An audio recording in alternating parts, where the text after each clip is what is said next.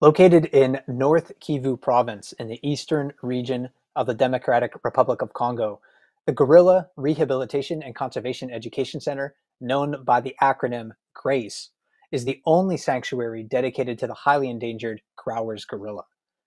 Grace's gorillas are a blended group of unrelated individuals. The one thing that they share is trauma. Each was rescued at a young age after poachers killed their families. Special care was needed to help them heal, and now through the webcams at Grace, we're presented with an exceptional opportunity to learn about them, support their recovery and welfare, and help to ensure the survival of their species. Hi, everyone. This is Mike Fitz, the resident naturalist with Explore Nature Cam Network.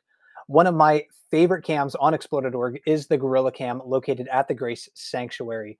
And during previous live chats about the gorillas at Grace, we've talked about Grace's community first approach to con- conservation. And we'll probably touch on that subject again. But with my guests today, I would like to focus more specifically about gorilla group dynamics, gorilla care at Grace, and uh, talk about some of the individual gorillas that make the group at Grace so special. We have two guests for our program today. We'll hear an interview with Dalmas Kakuli Sangia, who is the animal care manager at Grace. He has many years of hands on experience caring for the gorillas at the sanctuary. But first, let's bring in Dr. Katie Fawcett, who is the program manager for Grace. She's here to discuss the gorillas and their conservation and also answer your questions. Katie, thanks so much for uh, joining me today, and it's great to speak with you again. Thank you ever so much, Mike. It's great to be here. Our, uh, our conversation with Dalmas is uh, recorded, However, Katie will be with us for the entire broadcast. So if you have questions about Grace and the gorillas, then pre- please drop those in the comments and we'll, we'll try to answer them throughout the broadcast uh, today. Katie, though, uh, before we get to the conversation with Dalmas, I wanted to learn a bit more about gorillas and gorilla group dynamics. Uh, I know that they're social creatures, uh, you know, they, they live in groups, but how do these uh, groups form? Thank you, Mike. That's a, that's an excellent question and really, really interesting one for gorillas. So, a typical gorilla family group is very much like we see at Grace. The silverback, the adult male, leading a group of female and their, their offspring. And um, how these groups form is that both males and females, as they mature, have the options to, to stay in the family group or leave um, to form or to join other groups. So, an adult female will leave have the choice to stay or leave in the group when she's about eight or ten. Um, she might want to change group if the leader is her father, or she um, might want to um, uh, leave. She has, a, you know, there might be and there might be another reason why she wants to leave the group. The, the males they mature a little bit later, so when they're around eight, ten, they become blackbacks. We can see a couple in um, the group at Grace right now. And then at 13, 15, when they become silverbacks, that's when they may choose to stay if they're tolerated um, in their family group, or they may wish to leave. And this time they wouldn't leave to join another group, but to spend a time in the forest as what we call a lone silverback. That would be on their own, where they would hope to bump into another family of gorillas and attract a female to come and join them and to start a new family group. And how important is the the group to the growth and health and, and welfare of wild gorillas? You said that there's maybe a period of time where uh, you know like a silverback could be alone, but that seems to be sort of like the exception when you look at like their entire lifespan. Is that right? Yeah, and they're alone looking to form groups. So I think the, okay. the family group is really central to the gorilla social social organization and the growth of the population because that that male gorilla is providing protection for the females and the offspring so they can more more females the more offspring he has so the more the population um, can grow um, and recover from its, its current endangered status status. Are these groups uh, cohesive in the sense that they may last for many many years. You talked about how you know they some uh, gorillas need many years to mature. So i'm wondering also about like the cohesiveness of gorilla groups over time. Yeah, so the family group itself is is cohesive. So as females may transfer multiple times between groups in their in their life, and that's kind of unique within primates to have females transferring between between, between groups. The family group is is consistent during the the lifespan of the silverback, which you know maybe 30, 40, 40 years. Um, and the group will only disintegrate if that leader dies and there is no other silverback to continue that group. And in that situation, all the females would need to transfer to, to new groups. Um, and there's a risk involved with transfer. So gorillas, gorilla groups are known um, to practice infanticide. So that's if a female transfers with a young dependent infant, the adult gorilla, the silverback, may kill that infant. And that obviously is going to have a, an impact on the rate of growth of the population. So keeping these family groups cohesive and intact is, is, is key for population growth. And you did actually answer uh, one of the first viewer questions that came in during your last answer. Somebody was wondering about the average lifespan of a silverback gorilla in the wild. So 30 or 40 years. Uh, I do want to talk, though, a little bit uh, about the specific gorillas that we have at Grace. Um, and somebody did write in and was wondering how many gorillas are in this group. And I want to maybe attach that question to the one that I had for you um, in my in my notes here about uh, how did the gorillas come to have a home at Grace? So how many are in this group, and how did they get there? So currently, we have a gorilla family of 14 individuals. Here we go. we have one silverback, Kigoma, two blackbacks, that's young adult males, Shamavu and Lubutu, and then some adult females and some, some well, I think our youngest right now is really a sub-adult, so a very young um, adult female, Lulingu. But all of these gorillas came to grace as infants. All were less than three years old. All were rescued from the illegal wildlife trade um, and brought to grace for rehabilitation um, with a view of one day potentially being able to release back to the popu- uh, back to the wild population to support conservation efforts. And what is the process like for integrating a new gorilla into the Grace group?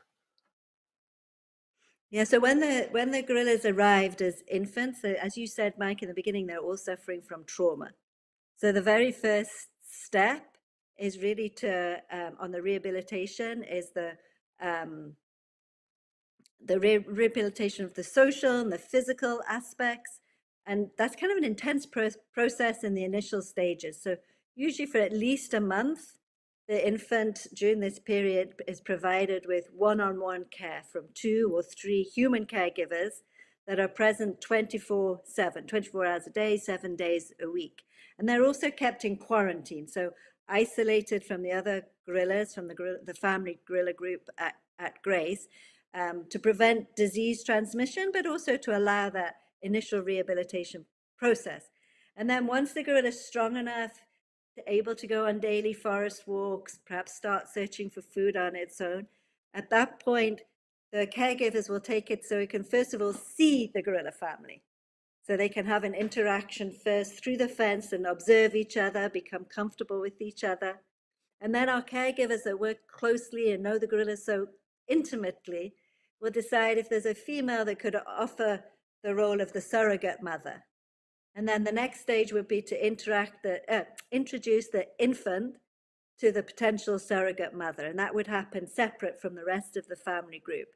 And if that process goes well, the next is to introduce the mother and the, the infant into the family, into the family group. So it's a very carefully monitored slow and, uh, and always led by the gorillas process.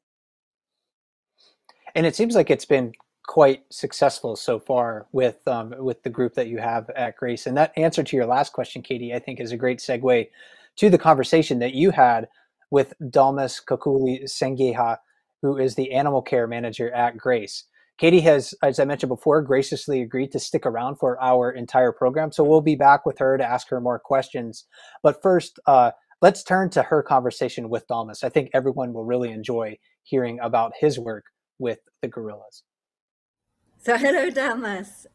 Please, could you introduce yourself Hello. to the audience? Okay, thank you. My name is Dalmas Kakule Siangeha, and I'm an animal care manager at Grace. Thank you, Dalmas. And you have many duties at Grace as the animal care manager. Could you tell us a little bit about what your job includes? Okay, my job includes many things.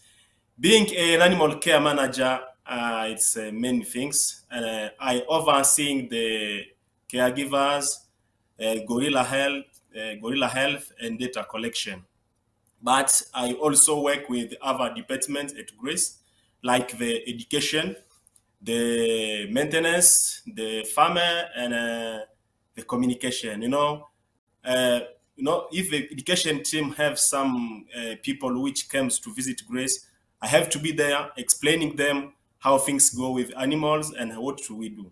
Uh, at the farmer, I can advise them uh, which vegetable is preferred by the animals, and then I can advise them uh, to grow the, the this uh, vegetable which is a, a gorilla.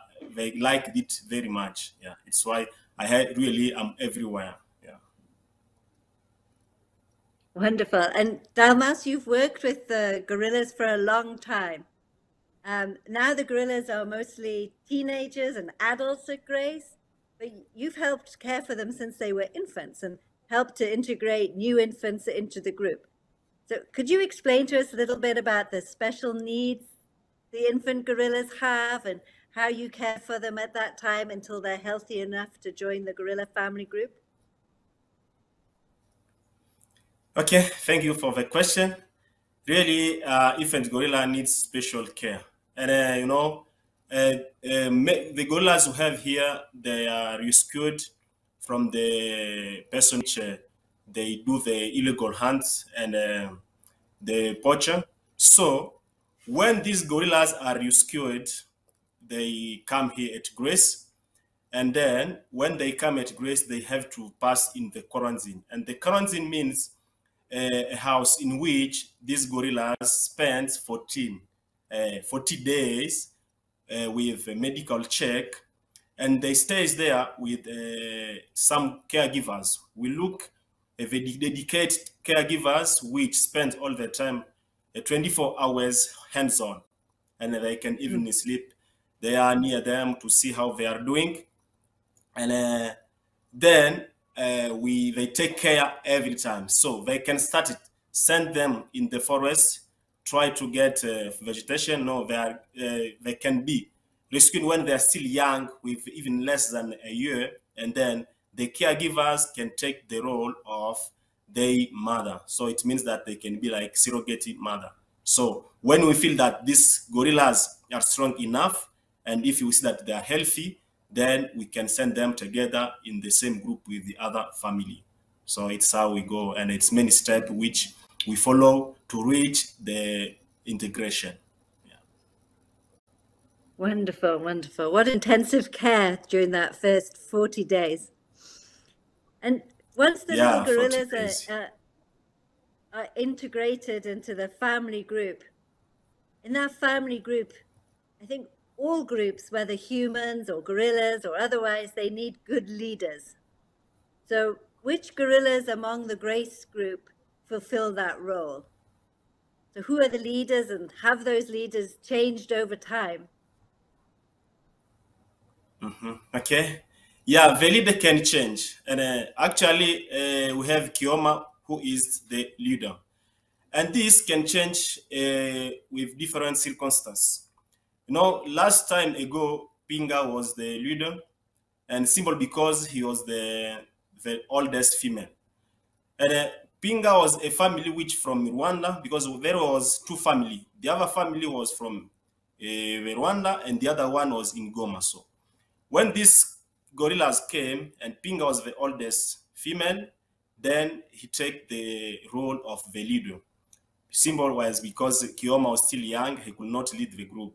And then when Kigoma was growing, then he fighted uh, Pinga and all the female and all the other small male, then he became the leader. Until now, Kigoma is the leader and he's the boss of the family at Grace.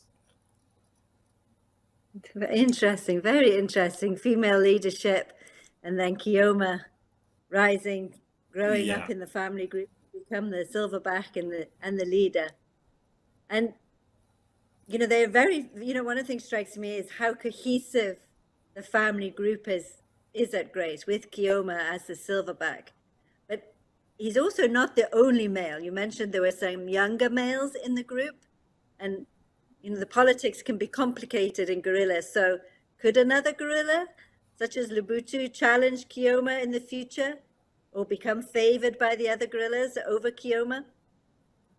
And if so, what would you do in that yes. situation? Mm-hmm. Okay. Okay, yes, yes, I agree that uh, uh, there is a other male, and this male can challenge Kigoma. And uh, yeah, there is Lubutu, who is uh, uh, also a sub, a sub, a sub Silverback, and he's growing fast. Even now, he have started uh, trying to challenge Kigoma because we can see her, him sometime trying to divide the group. Yeah, he have some female which have started following her, and he's trying to divide this group. So, yeah, I think that uh, in the future, if these uh, two male show us that they think that they should be in two groups, then I think we should split this family to two for us in Gloja just to avoid this fight because they can get much problem. They can even kill themselves. So as we are there as caregivers and if you are one who is taking care of them, we have to split them and go uh, to divide them to two uh, for a Singloja. Yeah. So you're looking for the gorillas to tell you when it's time to split the group. You're looking to see if there is an increase in aggression. As so far, has there been a lot of aggression between Lubutu and Kigoma? Yes, of course. Yeah, as I, I said before, that Kyo, Lubutu is really uh, growing fast, and soon he will be a silverback. Really, there will be um, several fights because Lubutu will try to be the boss of the family, and if Kigoma will try to defend himself and to defend his family, then there will be really um, problems and wounds can come and even men can die. Yeah, because if you if if a gorilla wants to be a boss of a family, he have to kill the male or the male submit to him. So I don't know if Kigoma will submit easily near Lubutu or not. So and then we are there to see all of that. We are watching if they, if they decide to show us, then it's necessary. Then we'll do no. We have to split them. Yeah, that is. We think that we can solve that problem. Yeah. So changes could be coming with the Grace family. I'm glad you're there to watch carefully. And the gorillas at Grace, the, the family group, it's we could call it a blended group because all the individuals came to Grace from other family groups. They were all the result of the illegal wildlife trade that you spoke about above before. And so when there was no male leader before Kigoma and the group was first established, you mentioned that Pinga was the adult female was the leader. Can you tell us a little bit more about how she stepped up to fulfill this role? Okay, thank you yeah, as I said before, that uh, Pinga was the oldest female. And Pinga is really a very good mother in the our family of grace. And uh, she has really a big role in this uh, family because she take care of uh, baby new gorillas. And last time uh, we had two female, no, a male and a female. The first one was Shamavu. And when we integrated Shamavu, eh, Pinga was really there uh, to protect her. And he took her like her own, uh, not, uh, not uh, own gorilla, baby gorilla. And then when uh, Shamavu was growing, then he tried to leave uh, Pinga. And then Pinga was not good, was not fine because so no, I lost my baby. And then after Lulingu came and really she worked with her like a surrogate mother. So Pinga is really a very good gorilla with the baby gorillas. And uh, she, when she was a leader, really she was uh, uh, taking care of all the family without any problem. And uh, even uh, she's not happy when these uh, baby gorillas want to leave her uh, when they are growing. You know, when the baby gorilla are growing, they are trying to go uh, to be independent. But Pinga really stays that no, you have to be near me. And really, Pinga is really, I don't know how I can explain, but Pinga is a good mother of these uh, other baby gorillas. Yeah. Very key to the success of the family. Um, yeah, we yeah. have another question here, Dalmas, about innovation and humans aren't the only creature that has the ability to innovate. So maybe we could hear a little bit about Itubero. She's one of the few gorillas that's been documented to use tools.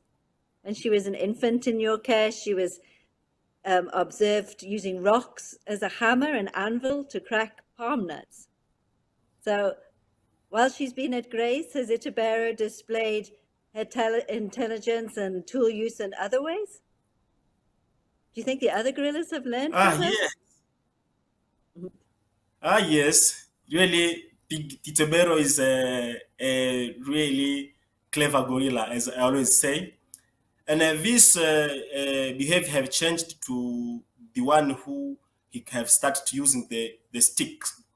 When Itubero is in a night in the night house, if he saw a food which is far from him, if he cannot be able to to get this food, then he can found a stick of a tree and try to get uh, this food. And then when the food is really near him, then he can take this. And a pinga is also one of the gorilla which uh, he learned much about training. And if uh, there is an enrichment, a new enrichment, she's the one who can be the first to test this enrichment. Really, she's really clever gorilla until now. She is there. And um, uh, as you asked if she have trained the other one, yes, of course, she have trained the other one. There is other uh, free gorillas like Mapendo, Njingala, Isangi. They have learned from uh, from Itubero to use this uh, this stick of tree, getting the food which are far from them. Oh, that's fascinating. Fascinating. Thank you, Dalmas. So yeah. all the gorillas at Grace are orphaned due to poaching, and so they've all suffered physical and emotional trauma at a young age. And we, we could spend a lot of time talking about each individual gorilla's story. But we'd like to talk a little bit about Amani. You know, Amani had a bullet lodged in her leg when she was rescued, and she still walks with a limp. So could you tell us a little bit more about Amani? What her personality is like, and and how she fits into the group? Okay, thank you.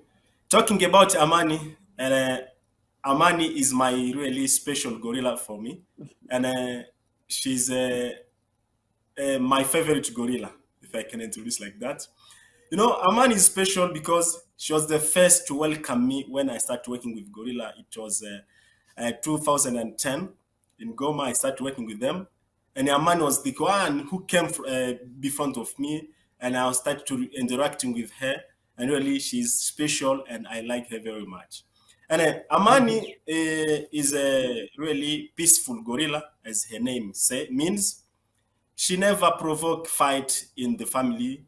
She's calm. If a gorilla come to try to fight her, she'll say, okay, I can leave you. If a gorilla want to grab her to take his food, she'll say, okay, you can take my food, I'm fine.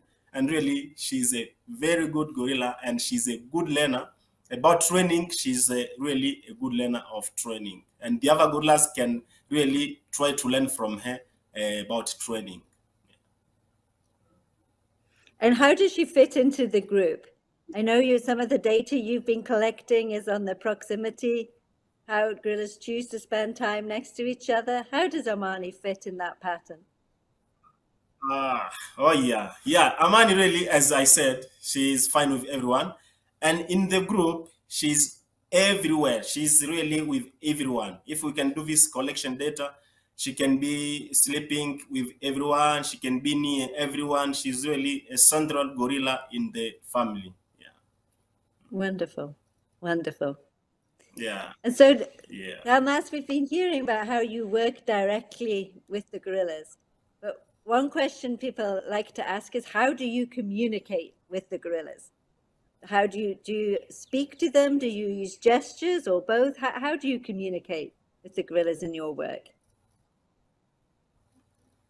Okay. Yeah. In my work, I use really like a gesture or I can communicate directly with them. Yeah. You know, especially when I'm doing training, I the first thing I to do, I can call them by mouth, say, okay, like Amani, come here. Then he understand, and then she will come. Then, then I can start uh, doing gesture. You know, uh, as uh, we have always doing training, then I can say Amani. The, the, then there I can start with gesture. I can say hands up. When I do my hands up, it means the gorilla will put also his hands up. Then he will understand.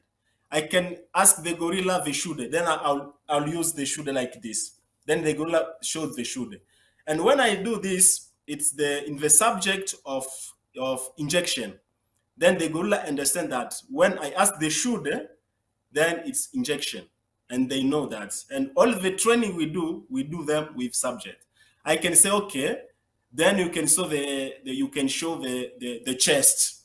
The chest means that I'll take the stethoscope to show how the is breathing and really some things. I, yeah, we have many uh, training which we can do with gorillas. Like we can take temperature on them. We can really we have taught them. So we've just seen really the gorillas also understand uh, easily and yeah, really it's how we do. Yeah. Wonderful. So, and this training that you do the training every day, and does this part form part of the daily health checks for the gorillas? Yes, we do this uh, every day. You know, as uh, actually uh, when we have a problem of COVID nineteen, we could be taking the temperature every day to see what's happening with the gorillas. The gorillas are, are okay or not. As the same we do for people, we also do that on gorilla taking the temperature. So the this training is uh, doing every day uh, and at the same time. Or yeah, you can do it in morning, you can do it in midday or it evening. Really, yeah, we work with them closely, and it's time to. It's a good time to interact with the gorillas. Interesting. Interesting. So the grace gorillas have very large enclosures or habitats, we call them, where they can roam and find food and, and play. But since they're still within, even though we have this huge forest area, it's still a fixed space. So how does the grace team ensure that their diet is healthy? And have you noticed that individual Okay. gorillas might have their favorite foods? Yes, yes. You know, as we have worked with gorillas uh, many years, and uh, we know that the gorilla prefers uh, certain foods. Yeah, as uh, I know, as you have introduced that they can go in forest to get their own food, and uh, our job is that to see which food we can collect outside of the forest, which is not in the forest enclosure we have also provided a farm in which we can uh, grow different vegetable. We have like beetroot, we have radish, we have uh, onion, we produce also cabbage, and then we can bring them to gorilla. And a- apart that, uh, according to that, we have a protocol, uh, we have a schedule on which we show that each gorilla should be eating this food uh, we know that uh, this gorilla can take like two fruits a day or four fruits. He can get uh, radish. He can really have this protocol, and each caregiver knows what kind of food each gorilla can take a day and by feeding. So it's how we, we do that.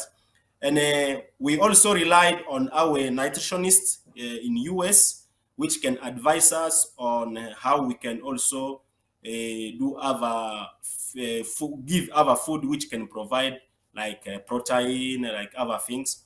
And we have also provided the, the biscuits, which we, we, we can produce, we make in our local um, local ingredients like sorghum or, or, or peanut butter. We put also like palm oil, oil, and then we make our own biscuit, which we give to gorillas, and the gorilla like them very much. And they really, our gorillas are healthy because of that, because we know how to work on different thing, different food, which can help them to grow fastly and with good health. Yeah, that's how. One, wonderful.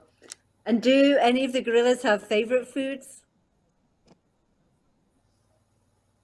Yeah, each one has his favorite food. Uh, for example, I can give the favorite food of Kigoma. Kigoma like very much the wild banana. and uh, yeah, mm. there is our Itebero who likes the cabbage. And when we bring the cabbage in the night house, really he starts singing when he sees that food. Yeah, say, mm, mm, mm, and then really, it's really funny for these guys. yeah. Excellent. So one final question, yeah. Dalmas. I think we can see through your answers how much you enjoy your work, but what what particularly do you enjoy about your work at Grace as the care manager? Yeah, my really my particular thing uh, time I enjoy my work is uh, when I'm doing training because when I'm doing the training, it's my most time when I can be close to the gorillas, especially my my favorite gorilla, Amani. And, uh, you know, the training, as I've explained before, that uh, uh, we do more uh, several training with different subjects. And the gorillas, uh, when they react uh, positively, when I ask the behavior which I need to do, and then they do. Really, at that time, I'm very happy when I can see that. Uh, also, when I can watch them playing in the forest enclosure, they behave like in wild when they are getting fresh food they can really get everything they want in the forest yeah in addition you know i also help the the the gorilla uh, i'm devoted to help them the helpers of gorillas who are uh, poaching and with illegal hunt i feel fine to help the giving them the second chance to live Wonderful. Thank you ever so much, Dalmas, yeah. for giving us an insight into into your work and the gorillas at Grace. Okay, I thank you. Hmm.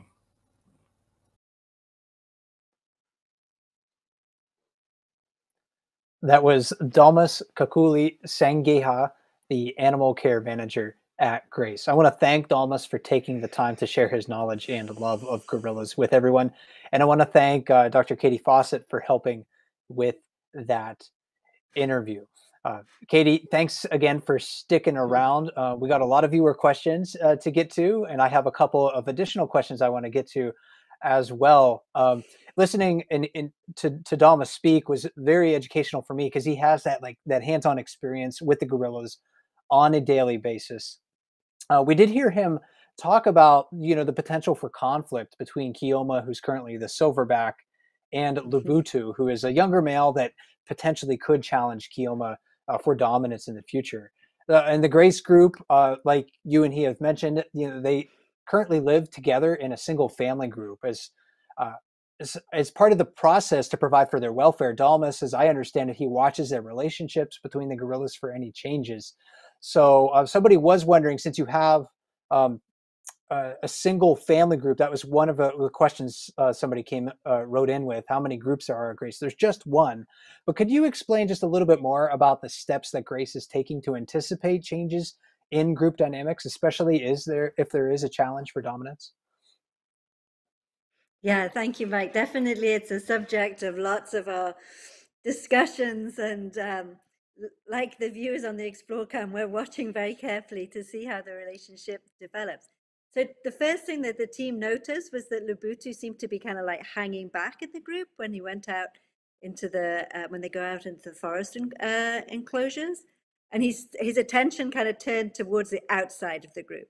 So kind of looking more at what's going on around him rather than like being involved in the group dynamics.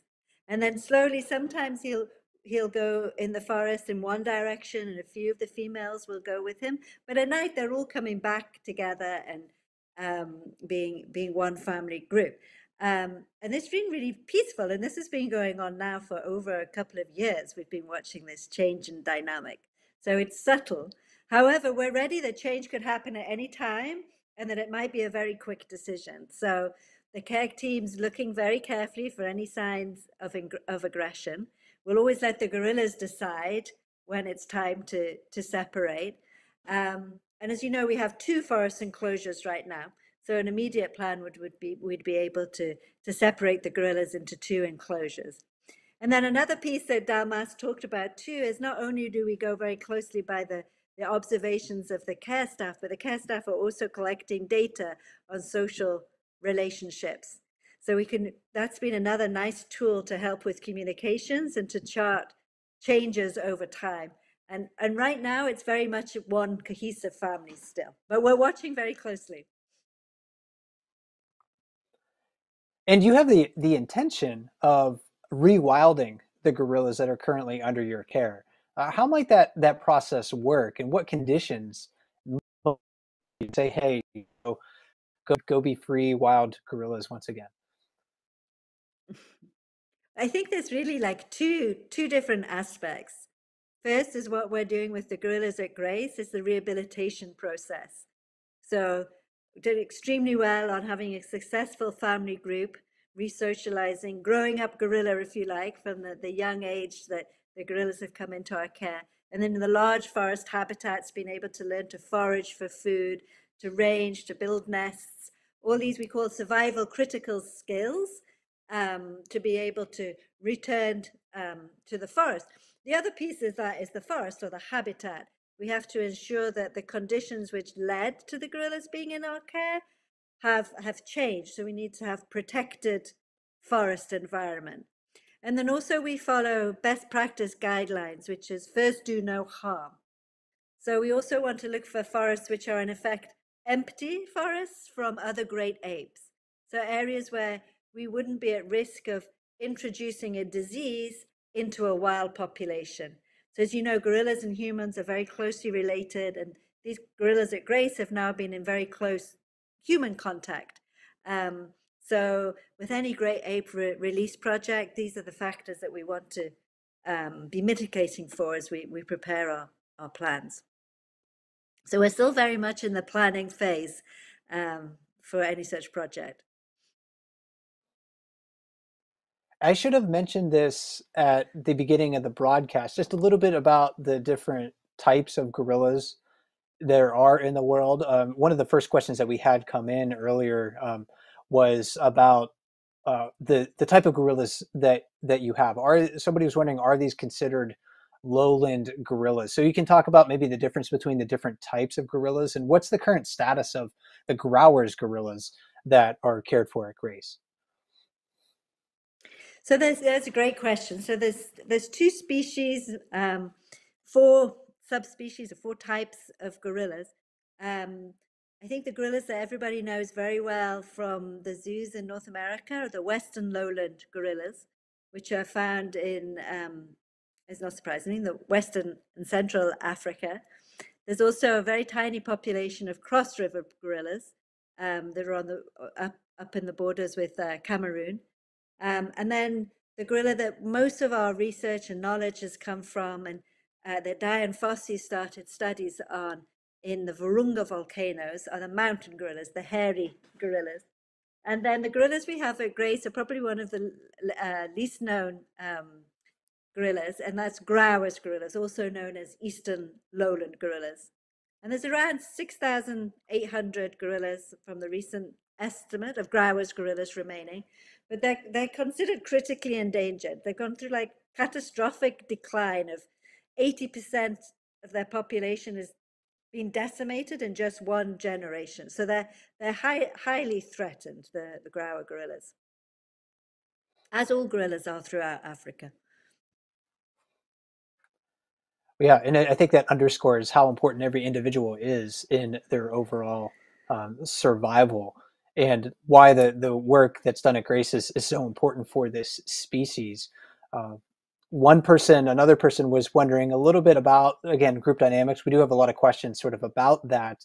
Uh, somebody was wondering, has there been uh, new gorillas who were not accepted into the group? As, as far as I understand, that's not been the case. They've all been sort of like welcomed almost with, with open arms, to use a, a human analogy.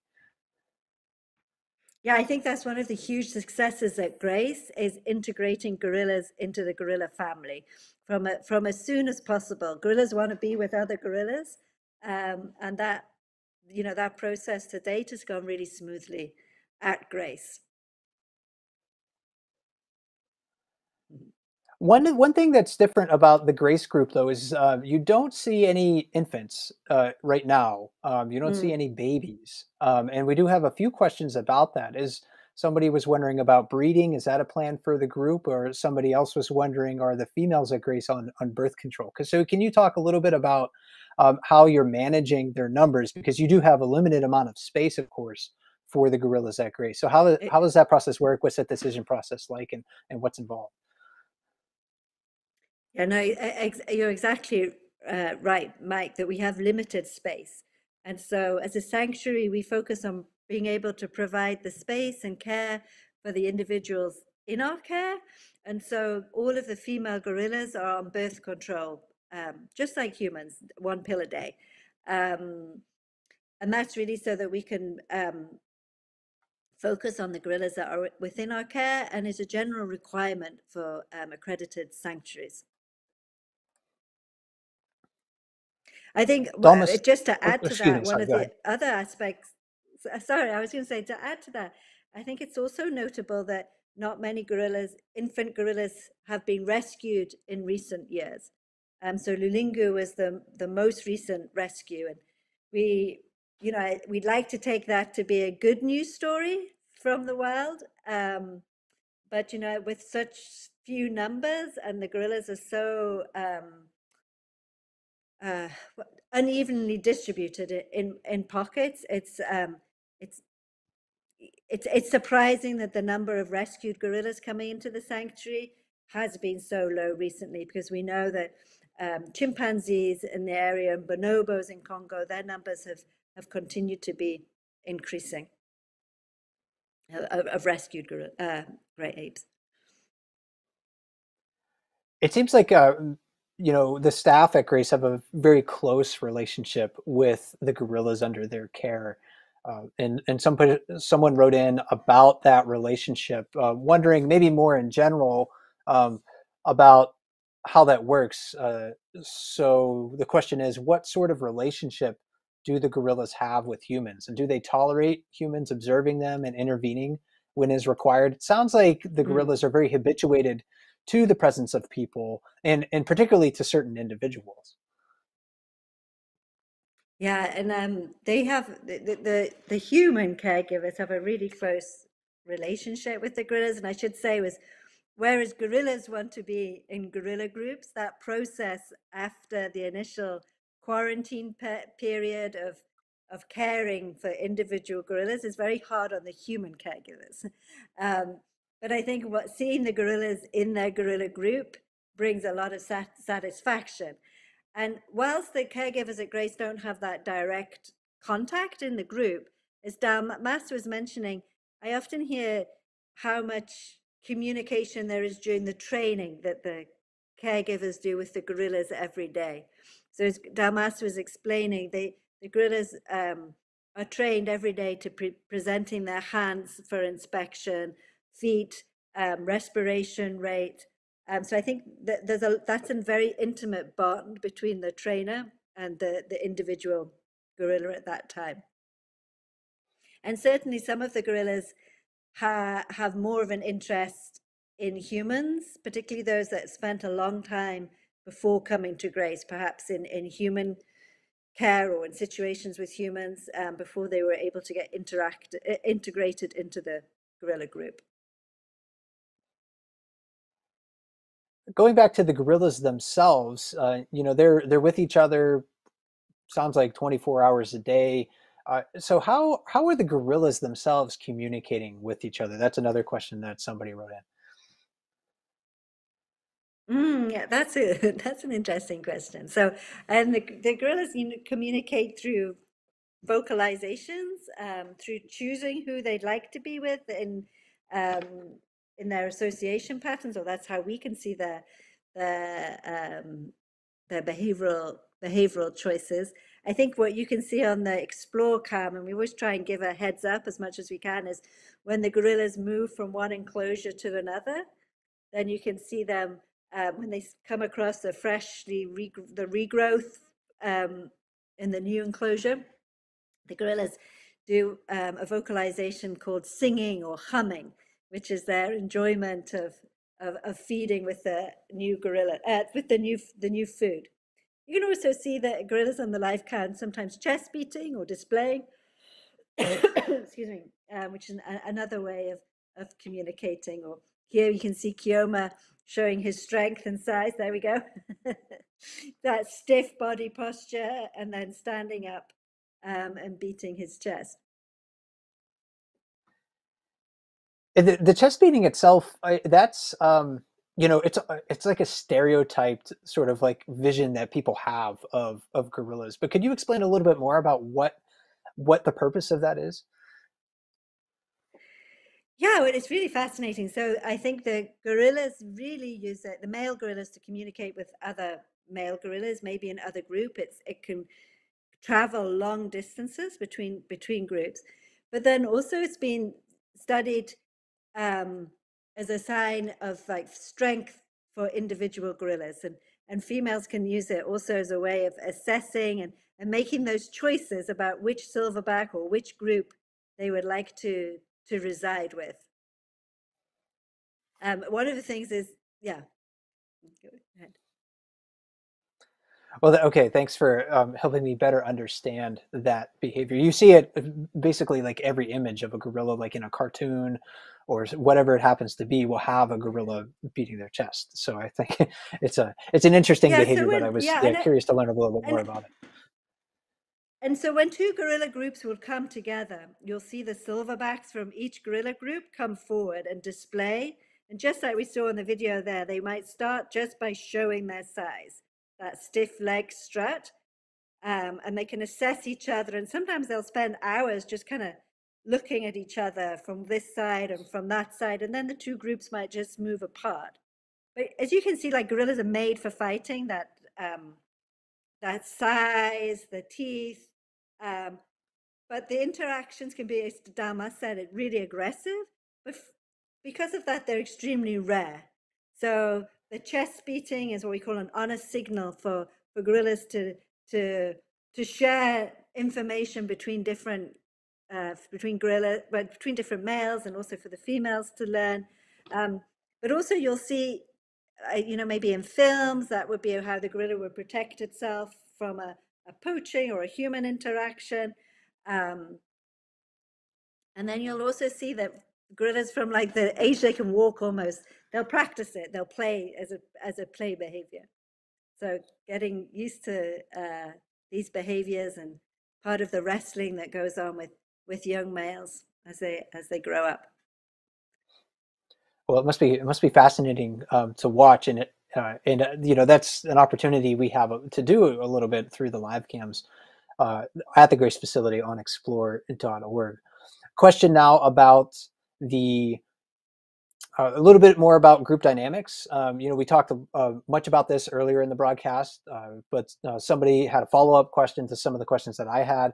Uh, so this person writes in when the silverback dies, does one of his sons take over if old enough? Or could there be, um, and I'm adding on to their question, could there be sort of like a vacancy where another wandering male gorilla could just be there in the right place at the right time? Yeah, that's a great question. So I mentioned that when the silverbacks mature, they, they may stay in their natal group um, and they would become like a, a silverback leader in waiting, if you like. So maybe it, their decisions could be influenced a little bit by how old the silverback, the current leader of the group is. And certainly females may choose when they're making their decisions to move from one group to another group to move to a group that has more than one male because potentially that group will have a, a longer tenure so that if the older male dies, the younger male can inherit the group um, and the group structure stays, you know, the group remains um, cohesive. But if the silver, if there's only one silverback, it's unlikely, it's possible, I guess, a lone silverback could walk in at the right moment and take the females, um, or maybe challenge an older male. Um, but often the group would just disintegrate with the females going in different directions to, to join other, other males or other groups. And uh, a couple more questions here, Katie, before we allow you to enjoy uh, your evening.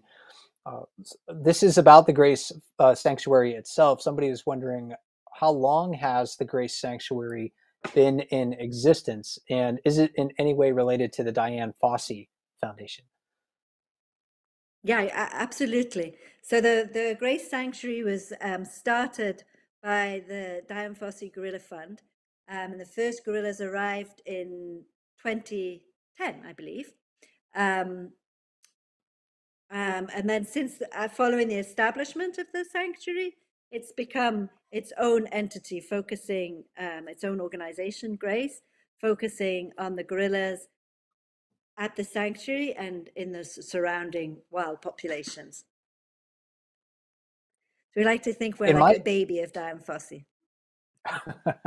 well, that's uh, yeah. I mean, it's it's big shoes to fill for sure. Uh, my mm-hmm. final question for you, uh, Katie, is how can we help the team at Grace, the gorillas, and uh, the people who live in and around gorilla habitat? Yeah, that's a great question. Thank you, Mike. And I think everyone's doing it right now.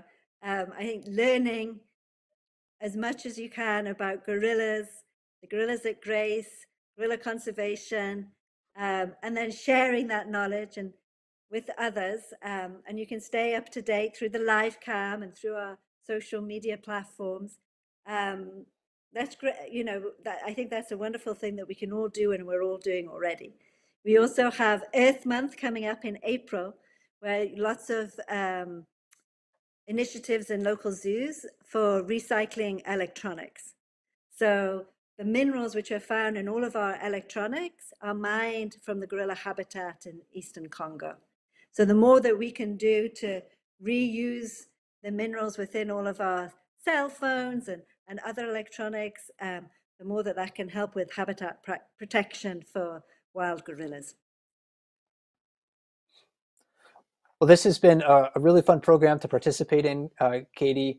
Uh, so thanks so much for your time. I think that's a great note to end the program on. And so, yeah, thanks for being here and sharing all your knowledge of of the gorillas. Well, thank you very much, Mike. It was a pleasure.